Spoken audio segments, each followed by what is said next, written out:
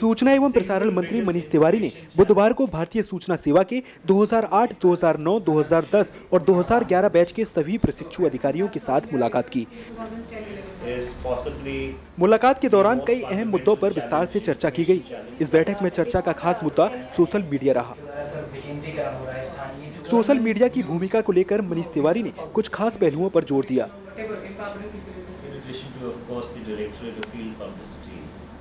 यही नहीं, बैठक के दौरान मनीष तिवारी ने सोशल मीडिया को लेकर अधिकारियों से सुझाव भी मांगे ताकि ज़्यादा से ज़्यादा सूचना सोशल मीडिया के माध्यम से आम लोगों तक पहुँच सके.